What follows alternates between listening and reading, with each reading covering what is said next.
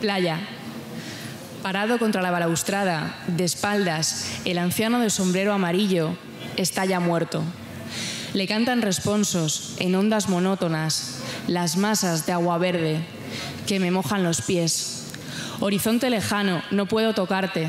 Las gaviotas sobre mi cabeza se aman todavía.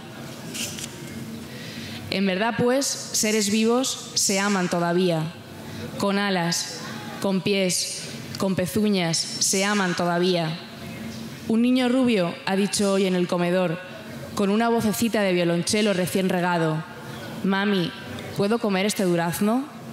Sus palabras han abierto en gajos mi corazón. Por ellas he visto al hombre muerto de pie y el vuelo de las gaviotas y el horizonte huidizo.